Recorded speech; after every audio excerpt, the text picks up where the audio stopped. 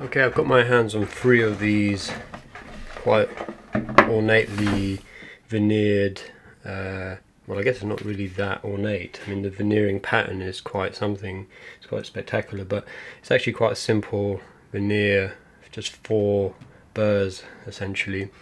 And I'm trying to work out what to do with it. I'm kind of tempted to make a mitered plinth.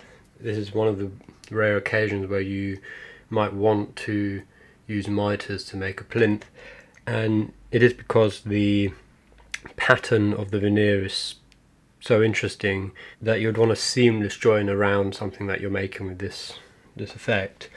Um, what could the plinth be used for? Uh, it could be left on the side of a couch and you could put your coffee in it. Maybe it can hold a plant pot, I don't know, something decorative. I feel like it's been French polished as well. It's not the best conditions, a few chips in places. Um, be enough to do all sides on the top and leave the bottom open and have a spare for God knows what.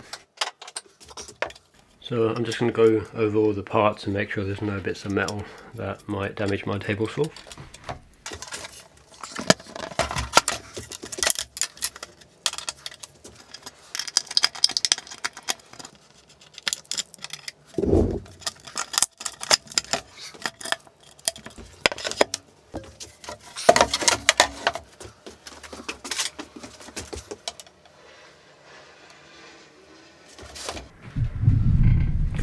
Reflection this is bonkers. Because this is quite old, um, I'm going to make sure I wear a dust mask, uh, just because I'm not sure what the paint is in particular, or the varnish. Um, and then I'll have my extractor on and the air scrub at the same time.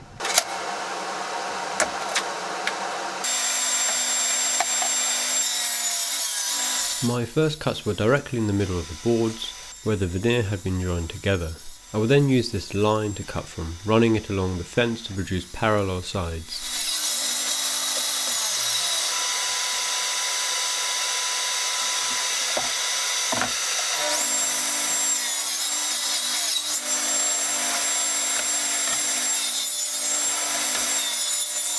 I think I've got a bit of a problem. I think my riving knife is a little bit thicker than my blade. about 0.1 mil thicker. It was enough to feel a pinch so I decided to change over to a thinner riving knife. Okay, I swapped over to a thinner riving knife so this should, uh, should help. I was finding it was pinching a bit and I had to push a little bit more than what I would normally do to get it through the, the blade.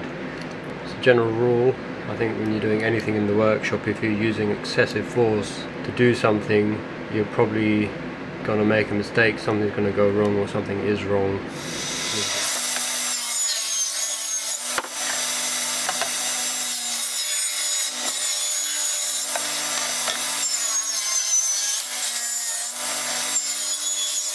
Okay, I'm going to use my bevel box now to set the blade to 45 degrees.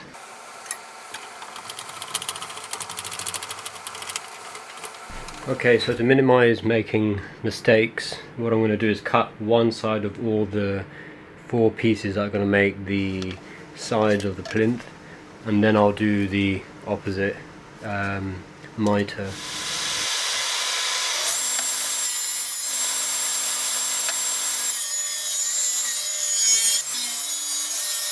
I'm now cutting all the side pieces parallel with mitered edges. I'm also making them as wide as I possibly can, but later I will trim them down depending on how large I manage to make the top.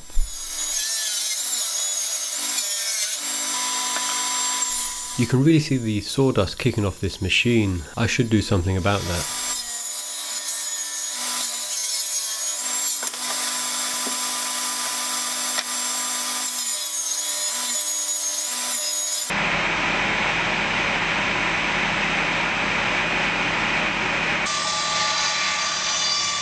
No. No. No. No. No. Okay, I've just gone and cut this and realised actually it's not square. So while I had made the two miters on either side parallel, the bottom edge was not necessarily at a right angle to those two new surfaces. So what I will do now, this is a mistake, I don't think I'm going to be able to save this. I'm going to have to lift the, this blade back up to 90 degrees uh, and cut a straight line while keeping this on the sledge and then square it up and, and do one end of all the other side pieces what this will allow me to do is to cut at 90 degrees through the boards that I just made parallel with my previous cuts. That new cross cut will be my reference to make the opposite sides also parallel.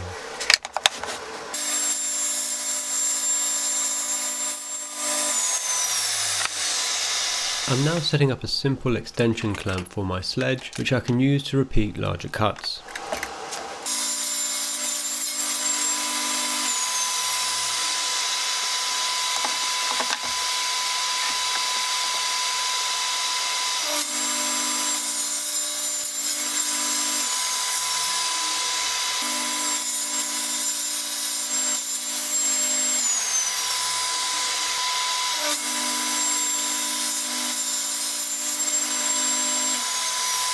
My table saw fence doesn't extend far enough so I'm having to use some old school methods of clamping the fence down as far as I can.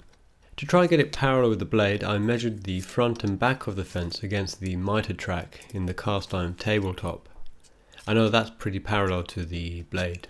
I've lined up the fence against one of the tracks and just going to go for it. If it fucks up I think I'm going to get rid of this table saw. Anyway, here goes for it. It's not ideal, you shouldn't really cut something that's a lot longer than it is uh, thicker but it's fairly deep so that will ride on the fence sort of okay. Any thinner uh, I wouldn't really feel comfortable doing this. Um, I'm just gonna do one measure it and just check that it's okay. Surprisingly it seemed to cut pretty well so I carried on doing the rest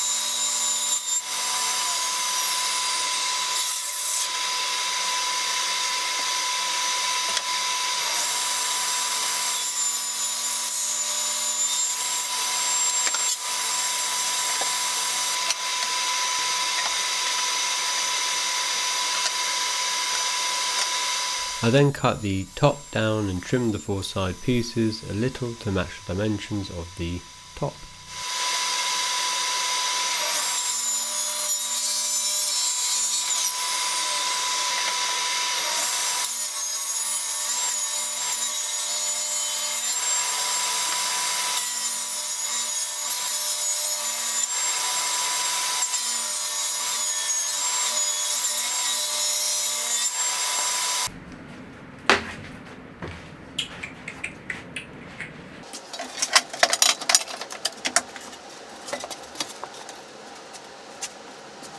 So this material isn't entirely flat. What you find is you have to widen the angle above 90 to start to close the gap. Um, that's quite normal if it's bowing a little bit, uh, but there's a way of dealing with that. You've got to get all the pieces round together, glue them up, um, and then actually push them in, tighten them up a bit uh, and there's a technique for that. And what we'll do is use the offcuts to help us with the gluing process. just need to find some rope. So I'm going to use the nail gun with the 23 gauge pins. I'm using uh, 25mm long ones just to pin it in a couple places so I don't have to worry about it falling apart a nasty experience with an gun once where the air blasted out into my eyes so I wear goggles now.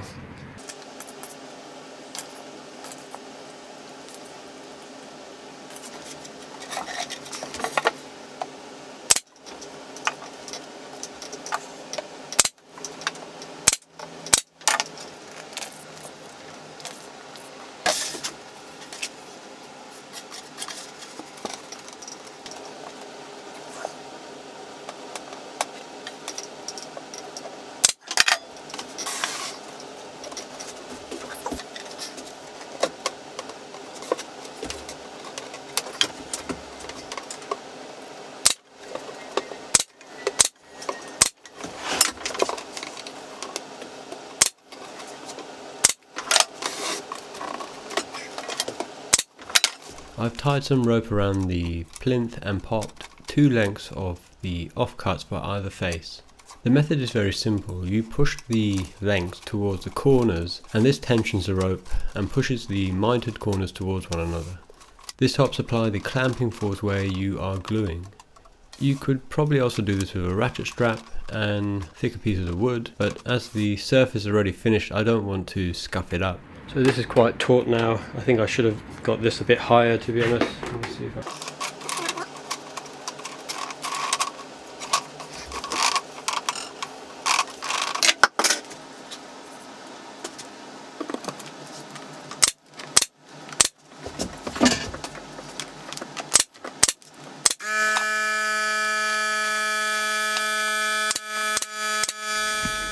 Right, while waiting for it to dry, I've just gone and ripped the wall down there. It looks pretty good, but there's still an ever so slight gap in a few places.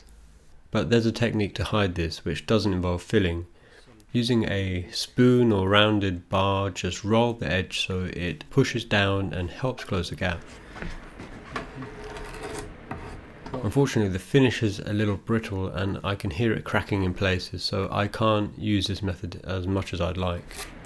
Help hide the, the gap a little bit although I think the veneer is just a bit too fragile. I can hear it cracking.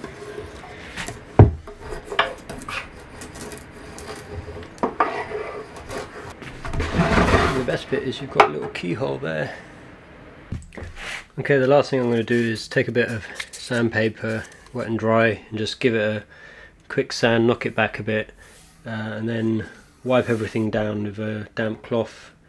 And then I'll decide whether to just throw a couple coats of new varnish on there. Whatever the stuff's on there, starting to crack. It probably should really be scraped off, but I'm worried I'll end up damaging the uh, veneer underneath. I think it's so thin.